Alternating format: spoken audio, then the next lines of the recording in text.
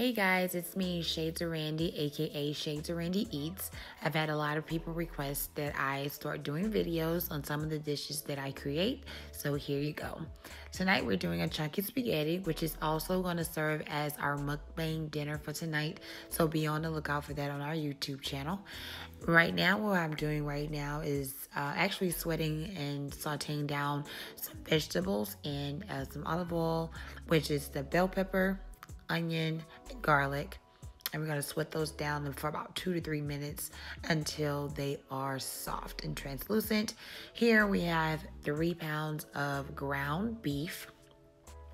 And basically, we're going to just brown this off and mix those vegetables and beef together.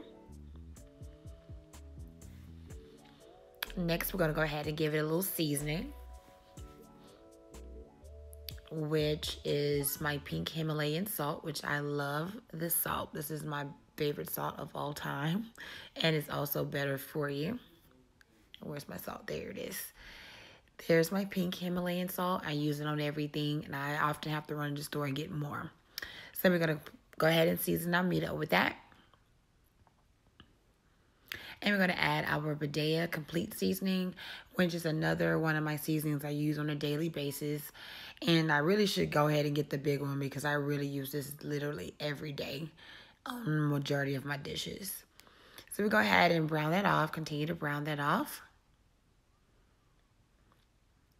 And next, it should look just like this, now nice and browned. And then you're going to add um, some sweet uh, Italian sausage. I had these left over from a previous um, dinner, so I just decided to throw them into this um, spaghetti on today. So brown that off completely. There's our spaghetti, which is linguine. And we're going to add some crushed red pepper flakes for a little added heat.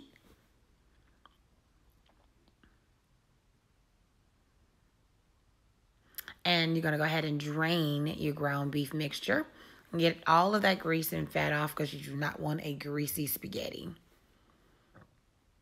Here we have um, the ragu chunky tomato, garlic, and onion. And I'm also using a thick and zesty spaghetti sauce as well as um, some um, yeah, you know what I mean. I'm just adding this to the dish for added zest, some sweetness, and a little bit more bolder flavor. Add a little bit of water to thin that out.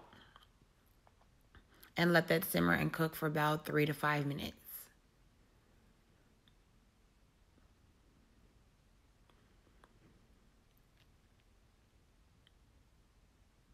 Yes, go ahead and mix. And that's our pasta still boiling, almost done. Right, so we're gonna go ahead and turn down our heat to a simmer so that our flavors can mingle. And we're gonna add some Parmesan cheese for added flavor and some nuttiness and of course some creaminess. Go ahead and add your pasta, mix that well. And go ahead and mix it, mix it, mix it good. I'm going to also keep letting this simmer for another two to three minutes so that the pasta would adhere to the sauce.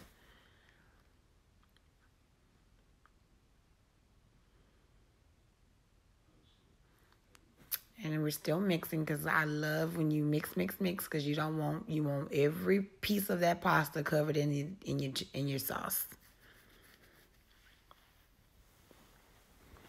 Next, we're to go ahead and prepare our sweet corn, which is from Kroger. My family loves corn, so um, they requested corn tonight, so there you go. And just put a little butter in the pot, and there you go. The completed dinner. Spaghetti, corn, and um, twisted garlic bread with a little side salad. Mmm, good eats. I hope you guys enjoy.